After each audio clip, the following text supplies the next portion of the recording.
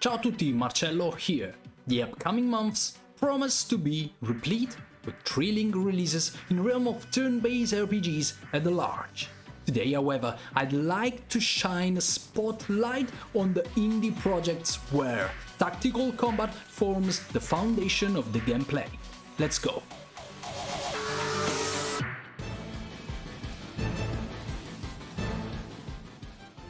Cards RPG. The Misty Battlefield is a cross between Fire Emblem and Slay the Spire, combining a character-driven anime war story with tactical depth on two fronts. While merging two genres, indeed, even these two particular genres is nothing new. The Misty Battlefield looks to be a game that does so with equal parts style and art. The free demo is well worth a play for interesting players and there isn't that long to wait until launch. Cards RPG is currently scheduled to release on 22 of May.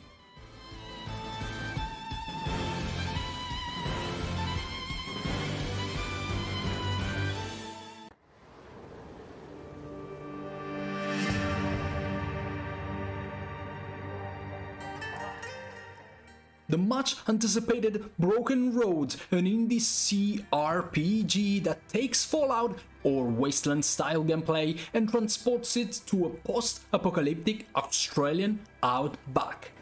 Was initially supposed to launch in November but was delayed. While there's still no official release date, anyone who's had their eye on Broken Roads is going to be eager to play this philosophical epic. The game's most hyped feature is its unique morality system, which gives character a much broader perspective than simple good or evil.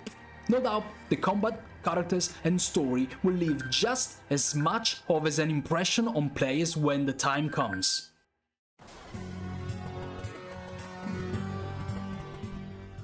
Skald might have the appearance of a classic CRPG from the early 90s, but the gameplay and story feel firmly modern. With cosmic horrors and gruesome deaths awaiting your party of heroes, this is the kind of dark fantasy adventure that would have been a classic back in the day. Whether you are longing for the glory days or Taking a retro journey for the first time, Skald offers challenging tactical battles and foreboding environments to explore. It should launch sometime this spring and the free demo is available to try right now. We are the Zodiac Legion. Our enemies beset us on all sides. Once our nightly... We've all played hex-based combat games, but Zodiac Legion feels a bit different. It somehow manages to blend Diablo with Heroes of Might and Magic, creating an experience that's part dungeon crawl, part tactical RPG. Righteous fury, we explore ancient ruins. Leading the titular Order of Knights, you'll recruit and train 12 mighty heroes ready to face the growing dangers of a changing world.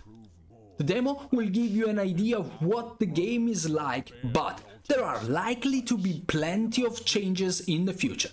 Zodiac Legion is scheduled to enter early access towards the end of 2024.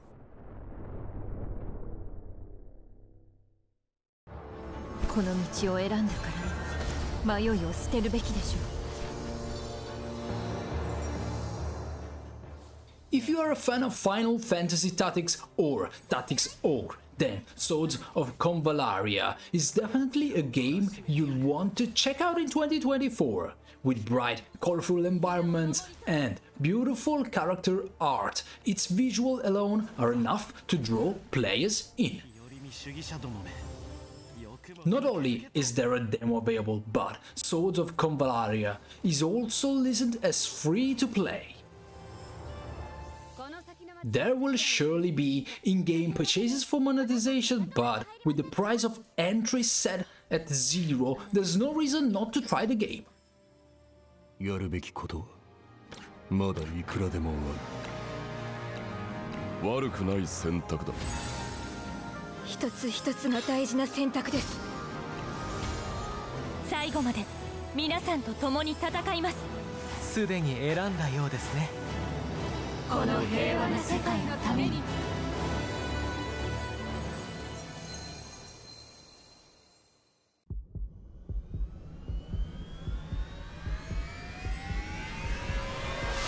Just the mercenary I wanted to talk to. Project Haven could be the next surprises hit for tactical strategy fans, leading a team of mercenaries in a dystopian near future city. You'll select which jobs you take and how to outfit your crew. Project Haven has both story missions and a skirmish mode, which is great if you're just looking for a one and done battle.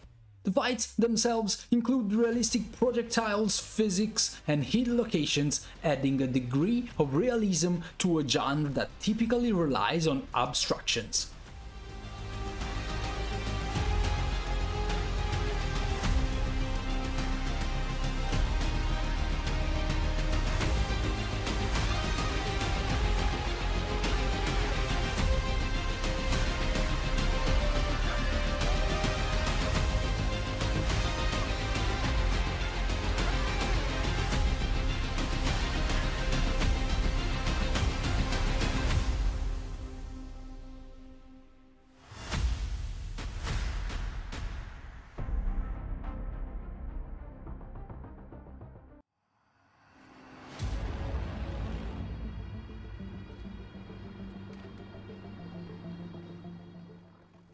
Marvel's Midnight Suns left you wanting more superpowered grid battles, then Capes should definitely be your next stop.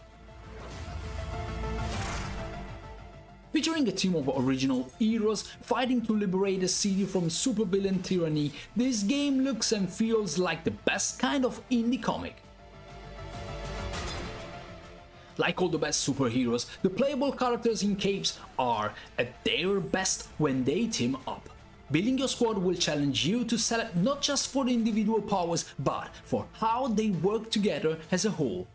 If the game is an indication, Capes will be one to watch when it launches later this year.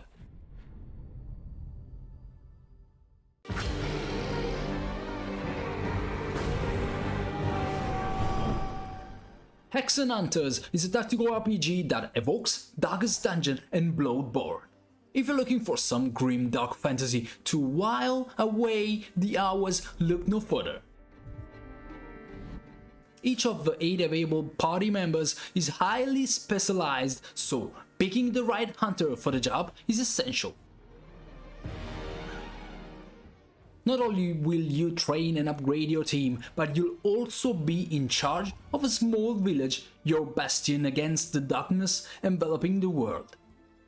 You can even ally with one of the cults if you're willing to risk using the power of evil for the greater good.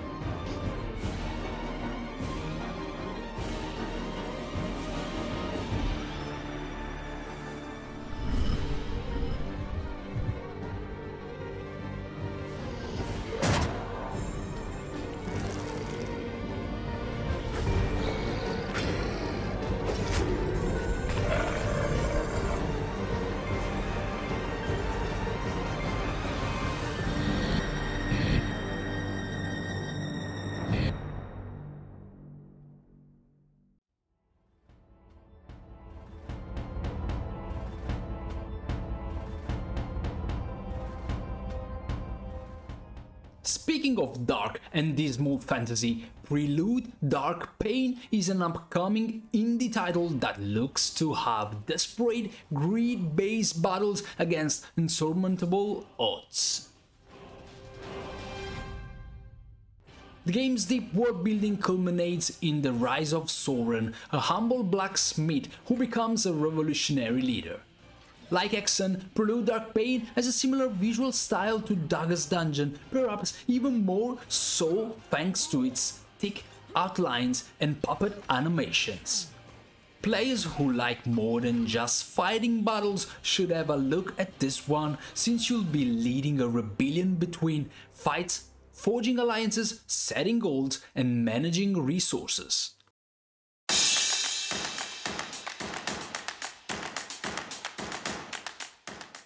Arco has a charming pixelated style and clever turn-based mechanics that make it unique. Following the story of four different heroes, you'll resist an invasion by the Red Company intent on stealing your homeland. With its plan and execute battles and lovely environments, Arco is the kind of game that you need to try if you want to get the full picture of what it is. Thankfully, there's a demo to play while we wait for the game's 2024 release.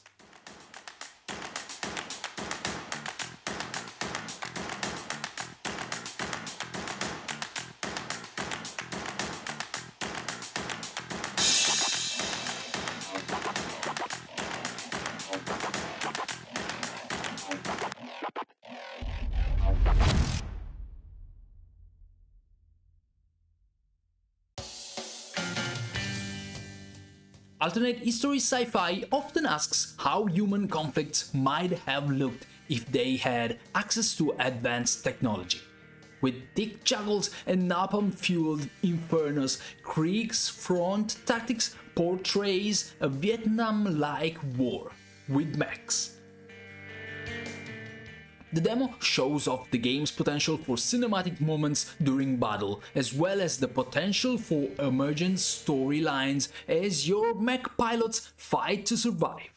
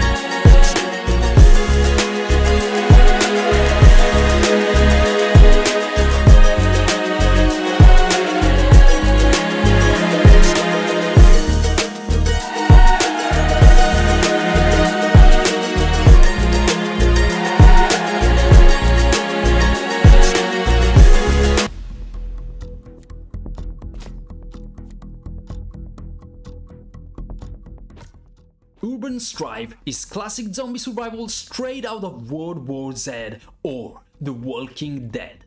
Starting with only a single survivor, you'll slowly build up a shelter and recruit more people as you reclaim the world from the undead, one block at a time. Urban Strife's big selling point is its ballistic base combat which uses realistic trajectories for weapons like shotguns. Choosing the right weapon for the job has never been more important when the dead are closing in.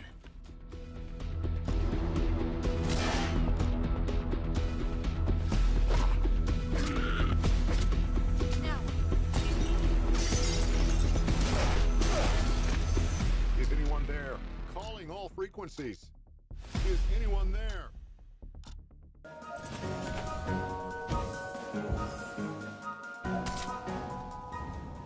Dream Tactics is a love letter to Game Boy Advance era of Fire Emblem and Advance Wars with a surreal fantasy world all its own. In addition to the usual positioning and use of area attacks to win battles, Dream Tactics also includes a hand of cards. You get a limited number of red draws, giving you some control over the options available to you. Tactical games typically can't be defined as cozy, but if everyone did meet that description, it would be Dream Tactics. There's not long to wait either, as it's scheduled to launch on 15th of April 2024.